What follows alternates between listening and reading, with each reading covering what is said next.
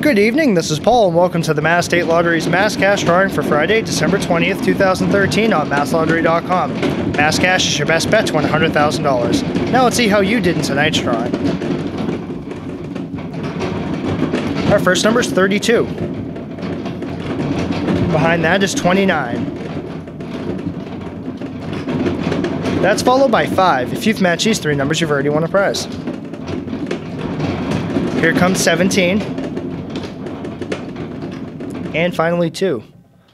Once again, the winning mass cash numbers for Friday, December 20th are 2, 5, 17, 29, and 32.